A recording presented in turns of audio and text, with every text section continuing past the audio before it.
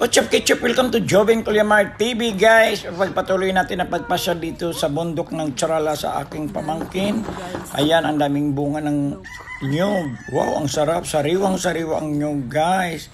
Dito lang yan sa bundok ng Charala. Ang ganda ng hardin nila. Mm, wow. Ang papaya. Yan, dito na ang ilang asinda. Ito ang ano ano nga manok. Yan. Ang bukid nila sa bundok ng Sarala. Dito lang yan sa Tagaytay. Guys, ang ganda. Ang laki ng aso. Oh. Kaya pasyal na kayo dito guys. Ang dami dito mga makakain. Ang dami dito mga fruits. Kung hindi pa kayo nakasubscribe sa aking YouTube channel, please subscribe Jobin Clemar TV.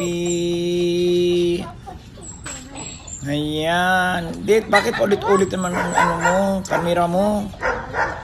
Ayan, yan, yan ang pamangking kong maganda ba yan? Ayan. Ayan na, nagpakita na siya. Ayan, pikot-ikot lang yung cam niya. Ayan yung saging nila. Ayan guys. Thank you for watching Jobing Cremar TV. Bye!